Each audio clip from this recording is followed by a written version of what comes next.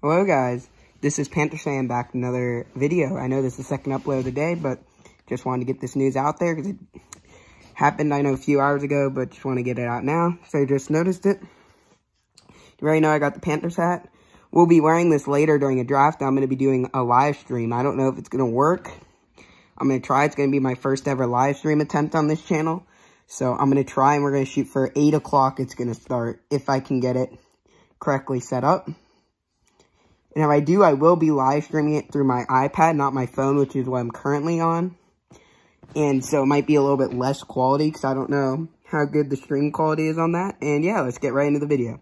So we got Marqise Lee, who got released by the Jaguars on April 20th, which was, I believe, Monday. He got released Monday by the Jaguars. And he got signed with the Pats for one year. Don't know how much money, just the years. He also is 28 years old currently and has battled injuries his whole career, so that's why he got released. He's been battling injuries for most of his career. Um, he was drafted by the Jaguars 39th overall in the 2014 NFL draft. So he was drafted in the second round, early second round.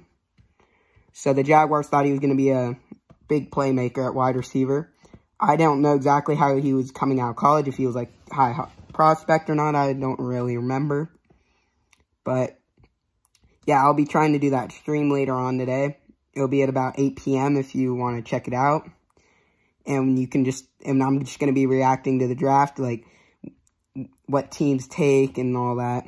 I don't know if I'll do the whole first rounds. I'll see. So I might not want to stream the whole thing. I'll watch the whole thing, but I might not want to stream it, but we'll see.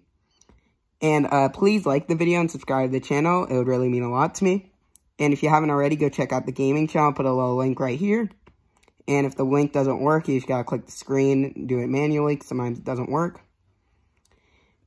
And um, I think this is a good signing also by the Pats because they get another wide receiver to help out there because now whoever's going to be starting in New England, which currently looks like Jarrett Stidham or Brian Hoyer, but I feel like they're going to draft someone. So it helps give them some more um, wide receiver depth if they can be healthy, Marqise Lee, because he hasn't been healthy that much.